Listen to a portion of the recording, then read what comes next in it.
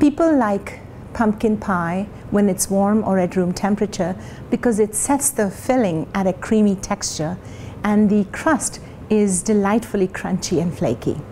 Now, those who like their pumpkin pie cold are also people who enjoy textures.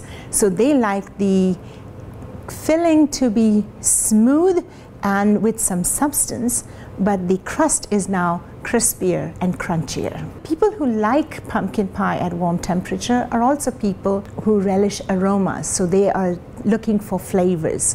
Whereas people who like the pie at a colder temperature are people who love texture and textural differences.